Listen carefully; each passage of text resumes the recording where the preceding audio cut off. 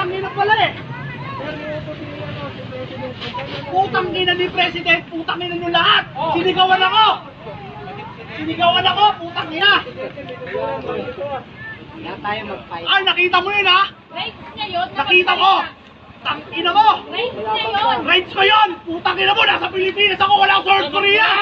Wala ako sa North Korea! Putang ina nyo! Alam namin yung karapatan Putang ina mo! Milyonaryo ako! Putang ina nga! Ginaganito mo ako! Putang ina nyo! Putang ina nyo! Nandito lang ako para maghatid ng putay ng pagkain sa nanay niya! Tarantado! Nagdadrive lang ako! Hindi ko gusto pumunta rito mga putang ina nyo! Nagdadala lang ako ng pagkain sa nanay niya nagugutom! Tang ina nyo ha! Yung putang inang pulis na to, sinigawan ako! Sinigawan ako! Tinitikitan mo ako! Tinitikitan mo ako dahil sa kasalanan hindi ko ginawa! O ano kaso ko, tarantado? Ano, ano kaso ko? Ano kaso ko? Ha? Ano kaso ko?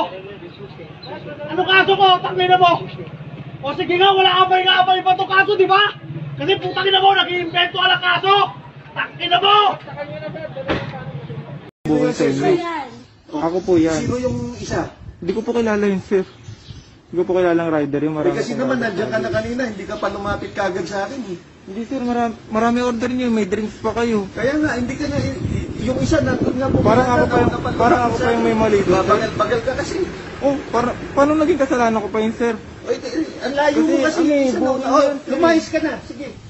Wala kami pakialam sa'yo. Hindi ako makikipagtalo sa'yo, oh. Dali mo to. Makikipagtalo ka pa eh.